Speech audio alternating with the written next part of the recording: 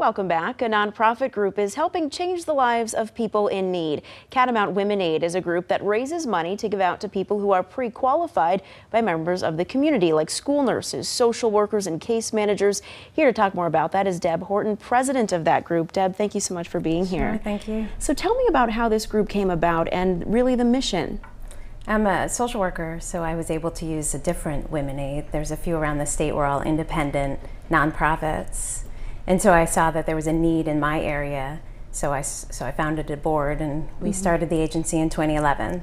And how does the funding get raised to be able to give to people who are in need? We're a small grassroots nonprofit, so we do little fundraisers through the year. We do a, um, we had one last night, a bowling night, and mm -hmm. so we mm-hmm. just do some fun, small nonprofit. So it all comes from the community, and then it goes back out to the community. And I know, it, so if you are in need, you kind of get pre-qualified through people who are out there in the community? Right, exactly. So a social worker, someone at a school, maybe a doctor's office, a welfare agent who already knows the family mm -hmm. and knows that they've already looked for all of the obvious um, sources of assistance and then we're kind of the one that doesn't do the red tape, so.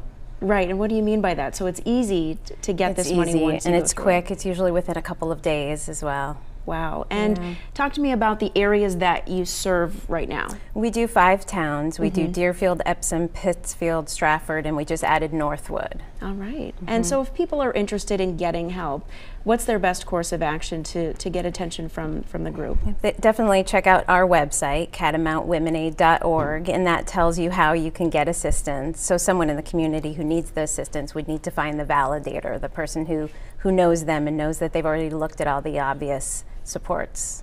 All right, Deb, thanks so much for joining us. What sure. a great group. Thank and uh, we appreciate your time. Sure. For more information, you can go to their website, catamountwomenaid.org.